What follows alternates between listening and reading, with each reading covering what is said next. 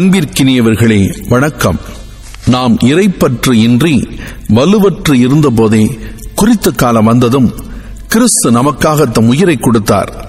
ரோமியருக்கு எழுத்திருமும் ஐந்தாம் அதிகாரம் ஆறாவது இறைவசனம். நாம் பாவிகளாய் இருந்தபோதே கிறிஸ்து நமக்காக தம் உயிரை கொடுத்தார். ரோமியருக்கு எழுத்திருமுகம் ஐந்தாம் அதிகாரம் எட்டாவது இறைவசனம். நம் குற்றங்களுக்காக சாகுமாறு கடவுள் இயேசுவை ஒப்புவித்தார். நம்மை தமக்கு ஏற்புடையவர்களாக்குமாறு அவரை உயிர் தெழச் செய்தார். ரோமியர்கள் திரும்பம் நான்காம் அதிகாரம் இருபத்தி ஐந்தாவது இறைவசனம். தாவிதின் மறைவில் வந்த இயேசு கிறிஸ்து இறந்து உயிர் பெற்று எழுந்தார் என்பதே என் நற்செய்தி. ரெண்டு தீமத்தேயு இரண்டாம் அதிகாரம் எட்டாவது இறைவசனம். உங்களுள் இருப்பவர் உலகில் இருக்கும் அந்த எதிர்கிறிஸ்துவை விட பெரியவர். ஒன்று யோவா நான்காம் அதிகாரம் நான்காவது இறைவசனம். நீ கடவுளுக்கு ஏற்புடையவனாக நிற்க முழு முயற்சி செய். ரெண்டு தீமத்தையும் இரண்டாம் அதிகாரம் பதினைந்தாவது இறைவசனம். எல்லா அருளும் நிறைந்த கடவுள் இயேசு கிறிஸ்துவுக்குள் என்றும் நிலைக்கும். தம் ஆட்சியில் பங்கு கொள்ள உங்களை அழைத்திருக்கிறார். ஒன்று பேதுரு ஐந்தாம் அதிகாரம் பத்தாவது இறைவசனம். தாம் வாக்களித்ததை கடவுள் செய்ய வல்லவர். ரோமியர்களுக்கு திருமுகம் நான்காம் அதிகாரம் இருபத்தி ஒன்றாவது இறைவசனம். கடவுளின் நற்செய்தியை ஏற்காதவர்களின் முடிவு என்னவாகும்? நேர்மையாளரை மீட்கப்படுவது அரிதென்றால் இறை பற்றில்லாதோரும் பாவிகளும் தண்டனை பெறுவது திண்ணமன்றோ ஒன்று பேதுரு ஐந்தாம் அதிகாரம் பதினேழு மற்றும் பதினெட்டாவது இறைவசனங்கள். ஆகையால் கடவுளுடைய வல்லமை மிக்க கரத்தின் கீழ் உங்களை தாழ்த்துங்கள். அப்பொழுது அவர் ஏற்ற காலத்தில் உங்களை உயர்த்துவார். ஒன்று பேதுரு ஐந்தாம் அதிகாரம் ஆறாவது இறைவசனம். நீங்கள் கேட்டுக்கொண்டிருப்பது விஸ்ட மினிஸ்ட்ரீஸ் வழங்கும் விவிலிய முழக்கம்.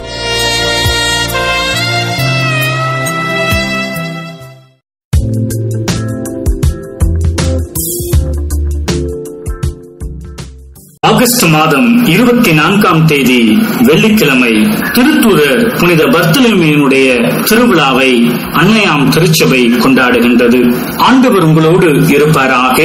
யோவான் எழுதிய நற்செய்தியிலிருந்து வாசகம். அதிகாரம் ஒன்று இறை வார்த்தைகள் நாற்பத்தி ஐந்தில் இருந்து ஐம்பத்தி ஒன்று முடிய. அக்காலத்தில் பிலிப்பு நத்தானியலை போய் பார்த்து இறைவாக்கினர்களும் திருச்சட்ட நூலில் மூசையும் குறிப்பிட்டுள்ளவரை நாங்கள் கண்டுள்ளோம். நாசரேத்தை சேர்ந்த யூசப்பின் மகன் இயேசுவே அவர் என்றார். அதற்கு நத்தனியேல் நாசரேத்தில் இருந்து நல்லது எதுவும் வர முடியுமோ என்று கேட்டார். பிலிப்பு அவரிடம் வந்து பாரும் என்று கூறினார். நத்தனியேல் தம்மிடம் வருவதை இயேசு கண்டு இவர் உண்மையிலே இஸ்ராயலர் கபடற்றவர் என்று அவரை குறித்து கூறினார். நத்தனியேல் என்னை உமக்கு எப்படி தெரியும்? என்று அவரிடம் கேட்டார். இயேசு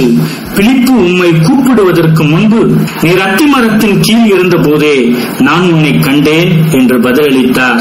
நத்தனியேல் அவரை பார்த்து ரபி நீர் இறைமகன் நீரே இஸ்ராயேல் மக்களின் அரசர் என்றார். அதற்கு இயேசு உம்மை அத்திமரத்தின் கீழ் கண்டேன் என்று உம்மிடம் சொன்னதாலா நம்புகிறீர்? இதைவிட பெரியவற்றை காண்பீர் என்றார். மேலும் வானம் திறந்திருப்பதையும் கடவுளின் தூதர்கள் மானிட மகன் மீது ஏறுவதையும் இறங்குவதையும் காண்பீர்கள் என மிக உறுதியாக உங்களுக்கு சொல்லுகிறேன் என்று அவரிடம் கூறினார்.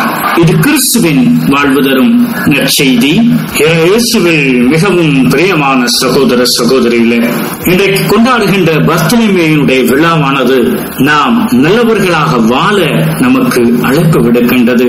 ஆகவேதான் இயேசு நத்தனியில் தம்மிடம் வருவதை கண்டு இவர் உண்மையான இஸ்ராயலர் கபடற்றவர் என்று கூறி நற்சான்று கொடுக்கின்றார். ஆக இன்றைக்கு கொடுக்கப்பட்டிருக்கிற இந்த இறை வார்த்தை நாம் இந்த விழா கொண்டாடுகின்ற பர்த்தலைமியூ போல நற்குணங்களை கொண்டிருக்கக்கூடிய மனிதர்களாக வாழ அழைப்பு விடுக்கின்றது. ஒரு ஊரில் ஒரு சமயம் பலத்த மழை இடி மின்னல் மிகவும் கடுமையாக இருந்தது. ஆரம்பிச்ச மழை வர வர கடினமாகிக் கொண்டே இருந்தது. நிற்கவே இல்லை. ஊர்ஜ ஜனங்கள் எல்லோரும் பார்த்தார்கள்.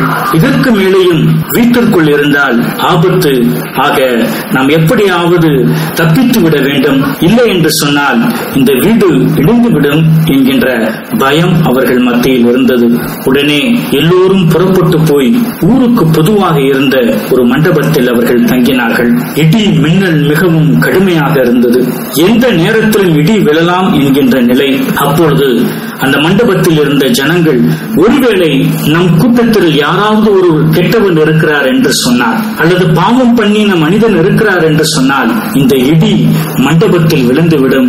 அது நம் எல்லோருக்கும் ஆபத்தாய் முடிந்துவிடும் என்று அவர்கள் நினைத்தார்கள். சரி இதற்கு என்ன செய்வது என்று அவர்கள் யோசித்தார்கள்.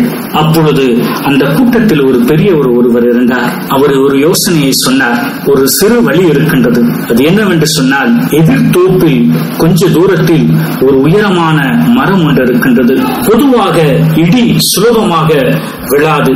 அந்த உயரமான மரங்களின் மேல்தான் அது விழும். அதனால நம்ம கூட்டத்தில் இருக்கிறவங்க எல்லோரும் ஒவ்வொருத்தரா போய் அந்த மரத்தை தொட்டு விட்டு திரும்பி வருவோம்.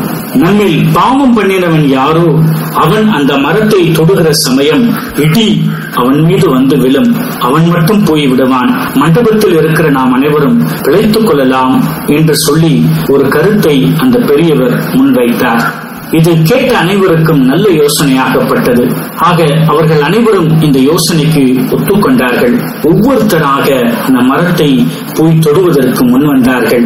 இடி விழவே இல்லை. இன்னும் ஒரே ஒரு ஆசாமி தான் பாக்கி. அந்த மனிதர் மிகவும் பயந்து போய்விட்டார். இதுவரைக்கும் இடி விழவில்லை என்று சொன்னால் என்ன அர்த்தம்? நான் தான் பாக்கி. அப்படி என்று சொன்னால் நான் தான் பாவப்பட்ட மனிதன். இந்த தப்பான மனிதன் என்று அவர் தனக்குத்தானே நினைத்துக் கொண்டு அவர் பயத்தில் இருந்தார். ஆனாலும் தனக்குள் துணிச்சலை அவர் வரவழைத்துக் கொண்டு ஒருவேளை அங்கிருக்கக்கூடிய மக்கள் அனைவரும் நம்மை தள்ளிவிட்டு விடுவார்கள் அதற்கு முன்பாக நாம் போய்விடுவோம் என்று சொல்லி அவர் அந்த இடத்தை விட்டு நகன்று அந்த மரத்தை போய் தொடுகின்றார். தொட்ட மறுகணம் மிகவும் பயங்கரமான மின்னலில் இடி விழுந்தது. ஆனால் அந்த ஆள்மேல் அல்ல மாறாக மண்டபத்தில் இருந்த அநேக மக்கள் மீது அந்த இடி விழுந்தது. அந்த மண்டபத்தில் இருக்கக்கூடிய அநேக மக்களும் அவர்கள் காலியாகி விடுகின்றார்கள். அந்த ஒரு ஆள் மட்டும் பிழைத்துக் கொண்டார் இந்த ஒரு ஆளை காப்பாற்றுவதற்காகத்தான் இடி மண்டபத்தில் விழாமல் இருந்திருக்கின்றது.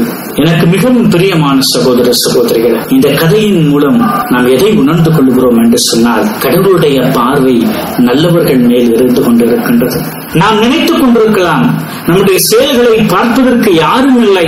நான் மறைவாய் இருக்கிற செயல்களை யார் பார்க்க முடியும் என்று நாம் நினைத்துக் கொண்டிருக்கலாம். ஆனால் நம் ஆண்டவர் இயேசு கிறிஸ்து அவர் பார்க்கின்றார். பிழிப்பு நத்தினியலை முன்னமே அழைத்து வருவதற்கு முன்பாகவே நான் உன்னை கண்டேன்.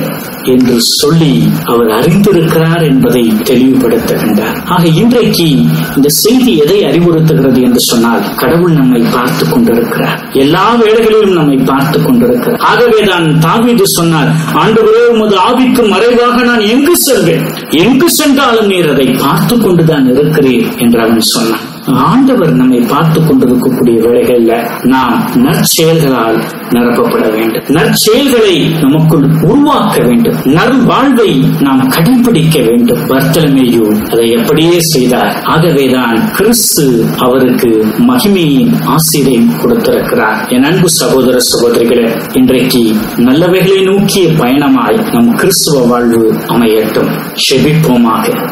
நேசித்து பாதுகாத்து வருகிற எங்கள் அன்பின் பரலோக பிதாவே. உடைய ஐஸ்வர்யங்களுக்காக நாங்கள் நன்றி செலுத்துகிறோம். வாழ்விலும் தாழ்விலும் எங்களோடு பயணிக்கிறேன் உமது கண்கள் எங்களை பார்க்கிறது என்பதை இன்றைக்கு கொண்டாடுகின்ற தூய பர்த்தலமையினுடைய வாழ்க்கையின் வழியாக நாங்கள் புரிந்து கொள்ளுகின்றோம் நல்லவைகளை காணவும் நல்லவைகளை தெரிந்து கொள்ளவும் நல்லவைகளுக்கு செவி சாய்க்கவும் நற்சான்றுடைய பிள்ளைகளாய் எங்கள் ஒவ்வொருவரையும் மாற்றுவீராக. என் ஜெபம் கேளும் ஜீவனுள்ள நல்ல அன்பின் பிதாவே Amen.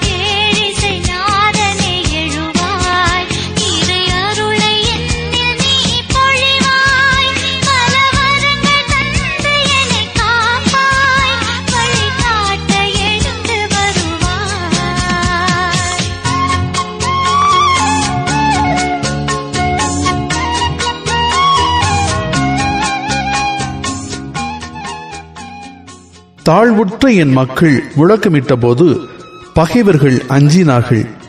வலிமை இழந்த என் மக்கள் கதறிய போது அவர்கள் நடுங்கினார்கள். என் மக்கள் கூச்சலிட்ட போது அவர்கள் புறம் காட்டி ஓடினார்கள். யூதித்து பதினாறாம் அதிகாரம் பதினொன்றாவது இறைவசனம்.